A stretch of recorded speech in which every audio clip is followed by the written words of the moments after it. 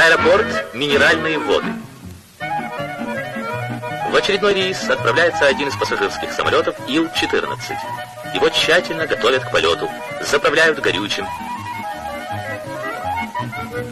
проверяют моторы. Много забот у диспетчера Парфейникова. Надо вовремя принять и отправить самолеты в различные города страны. Четко и слаженно трудится дружный коллектив. Пассажиры довольны. Воздушное путешествие было приятным.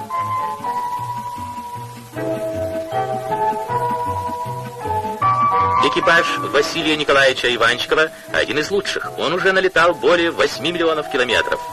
3 миллиона километров пролетел по голубым дорогам бортрадист Кутуз Галимов.